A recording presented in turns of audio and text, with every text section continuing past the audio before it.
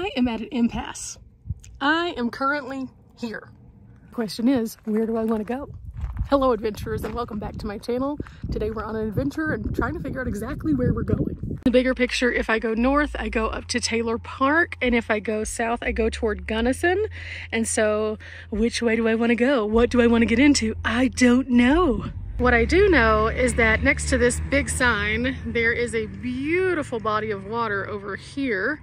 And then there's like some picnic tables and things, but that's kind of overgrown. So that's probably not in my wheelhouse but it is warmer here in the valley area, so I need to make a choice. Past Taylor Park, I think I go to Crested Butte.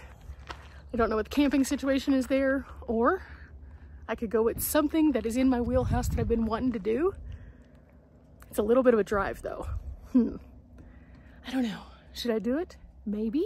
Do know is the last decision that I made uh, took me on some dirt roads. It was fun but uh, the van's a little nasty now. By a little, I mean a lot. Definitely warmer in the van at this level though. That's pretty warm right now. Okay, so I looked and I'm about five hours and 30 minutes away from the place I would like to go because they are doing construction. So normally it would be faster for me to go south toward Gunnison. However, because of the construction, it's actually easier for me to go north to Crested Butte. Okay, cool. For now, this is what our path is looking like. We have a couple cars in front of us and I'm just gonna enjoy the ride with some music. I'm super confused as to which way I'm going, but my map is telling me I'm going in the fastest direction. However, some of the signage, super confusing around here. Because originally my map had told me I was gonna go toward Crested Butte, but then it told me I'm going toward Gunnison. I don't know where we're gonna end up today, guys. I realistically don't. And this is the pro and con of using the map but I also have an offline map downloaded just in case. So we'll see what happens. it could be a little bit wild, but I am willing to risk it for the biscuit and find some adventure. And in the meantime, this view is everything. Mean, how could you not love this view? Lots of people out here recreating today. Lots of people out on the lake, which is to the right. And lots of national forest land. Ooh, ooh, a scenic pull-off. Yes, thank you. I think I will.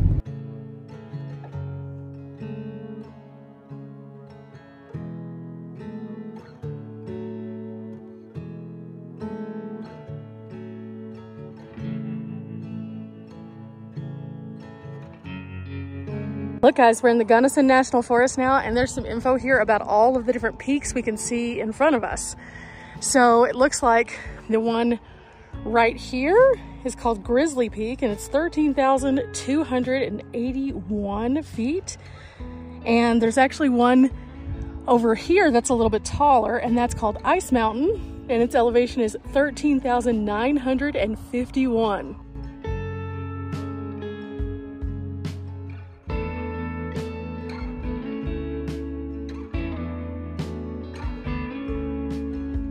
Apparently right here we're at 9,500 feet of elevation and this is Taylor Park behind me. Taylor Park is a wide, vast basin area and you can see meadows as well as a big lake out there that people are recreating on. It is beautiful and with the sun today and the beautiful clouds, it makes for the most epic day here in Colorado.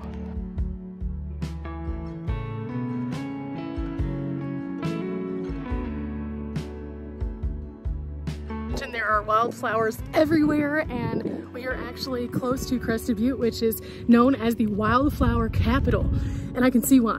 There are gorgeous flowers all in this area and it's not even wildflower season yet. They're a little early still whenever I'm visiting.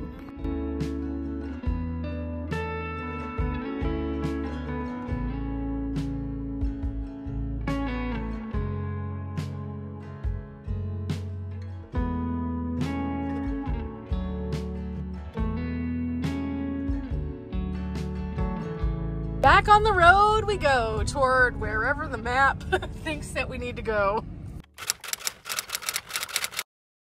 The more that I drive along, the more that I'm finding interesting things, even though I still don't know exactly where I'm going.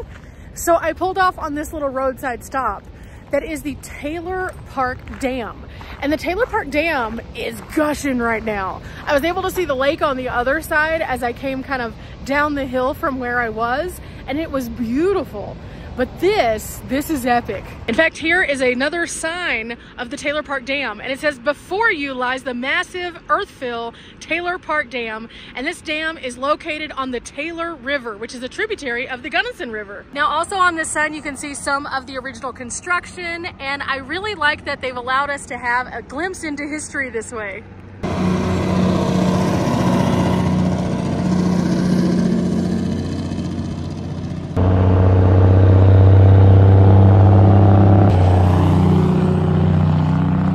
guys, I know we're talking about the dam, but does anybody get those final destination vibes when you see a truck hauling the timber, the lumber, the big trees?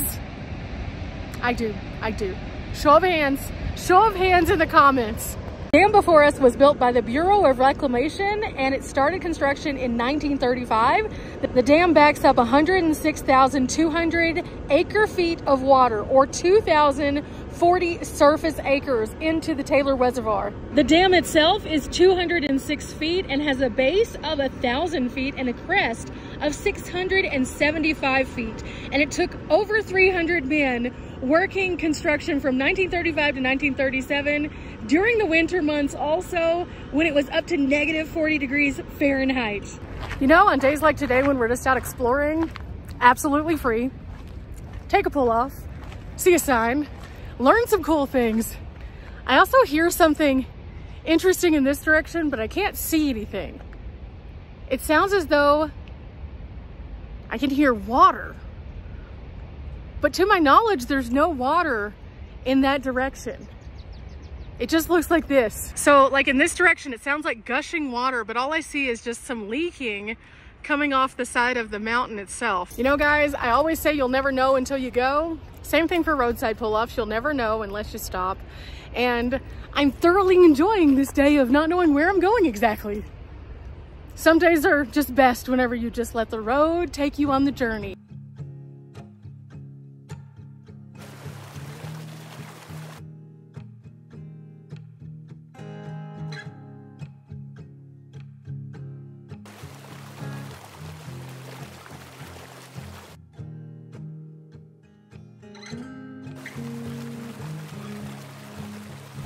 Okay, I've been meandering for a bit around the twisty roads and I found a pull-off that's actually, I think I put in for kayaks, but they have a toilet.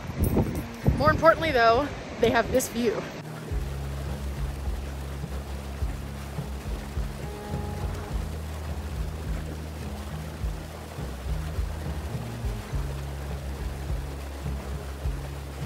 Now there is a trail in this direction. It's very small.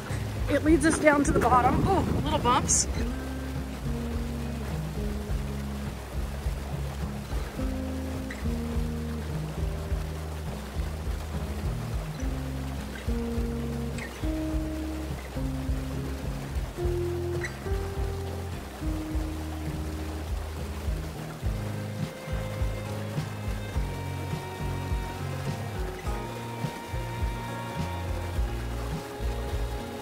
I have to feel, I have to feel. Is it cold? I bet it is. It's all snow melt. Oh, that is chilly. Feels good.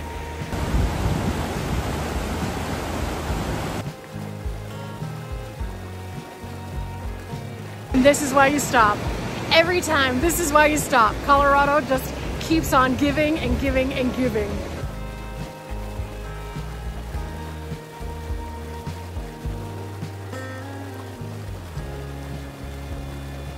But now up I go again. My goal is just to have an incredible adventure path. An adventure path is whatever that you're getting into that's an activity that is something that gets you moving, that fulfills that sense of wonder, that brings you joy. Wow, my adventure path today is epic.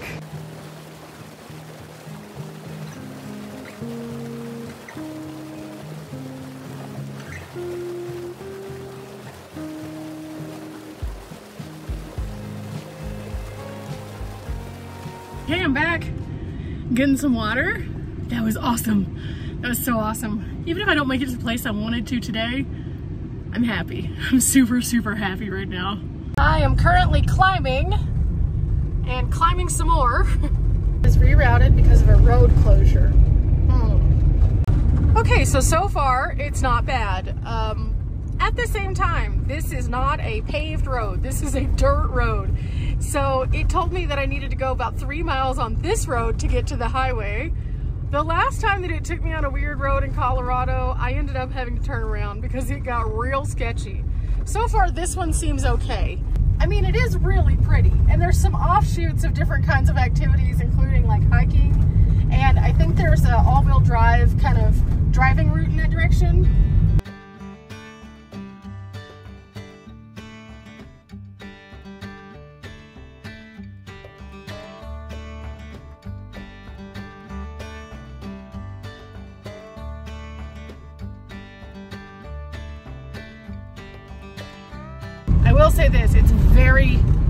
Warm here in comparison to the other places I've been. So I must be considerably lower in altitude.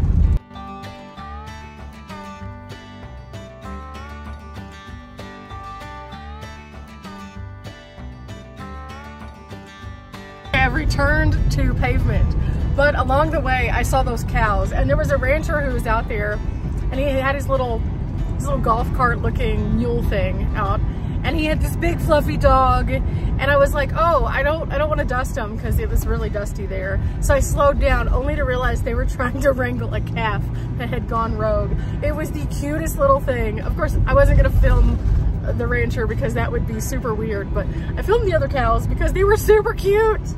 They were just cooling off. It's kind of hot day today. I love this. This is amazing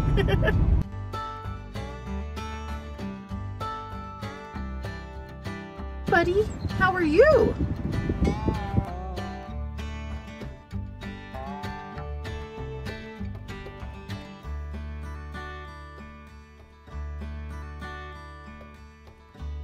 Oh, we're getting close to the mountains again. Like the big snow-capped ones. Oh, are we gonna go back through them again? That would be epic. And if you don't know what I mean by again, go check out my Cottonwood Pass video. I did that one and oh my gosh, I got to throw a snowball. I was so excited. It brought so much joy to this little Texan's heart. I literally feel like I'm on top of the world here. This is amazing. Wow.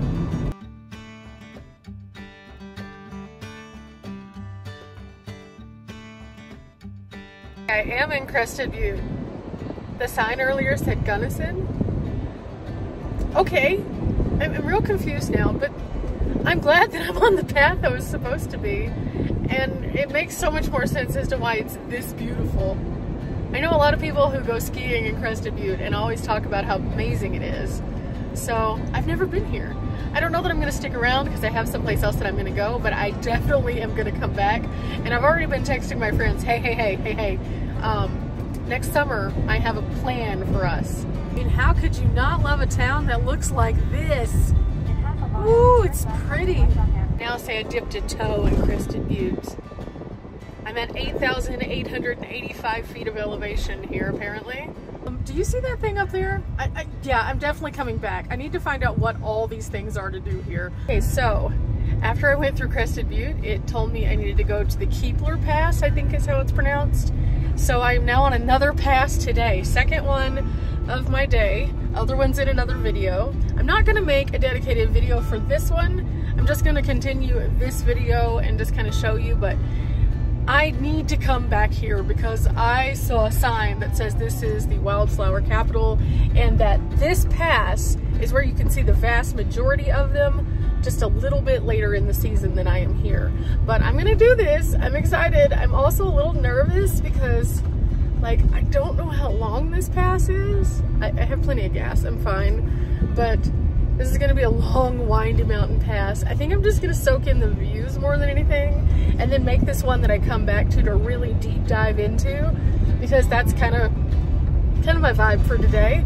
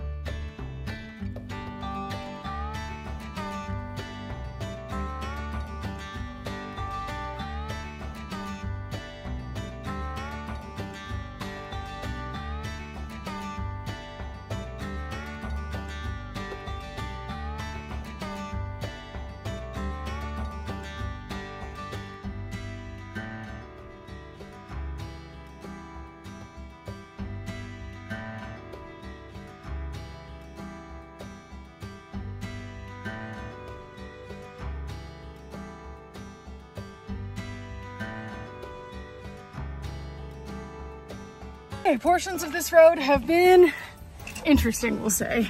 But I've been kind of navigating around. I pulled off because I hit a really big pothole, so I wanted to check on my van. It's okay. We survived.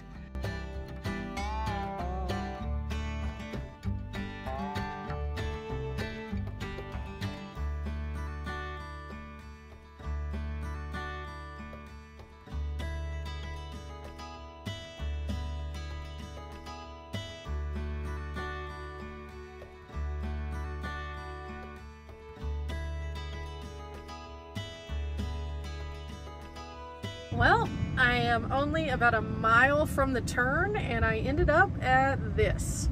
Okay, cool, cool. Had a great time over the pass. Everything was so beautiful. The views were spectacular. And I ended up meeting a couple cool people at a different set of like pull-offs. One was somebody who actually used to be from Texas. The other one was Mary. She's from Florida and she watches the channel. So that's really cool. Hi, Mary. Making my dinner right now. It's been a long day, but the air fryer is perfect for long days because it doesn't take very long. I figured after today, I've had a really long day and I'm just a little bit tired. So I'm making some sausages and some mashed potatoes. And then tomorrow I've got some exciting adventures planned because now I'm closer. I kept this a little bit secret though. So you will see where I ended up tomorrow. But for now, remember, we're not here for a long time, but we are here for a good time. I'm gonna get to making my dinner and I'll see you next time. Bye.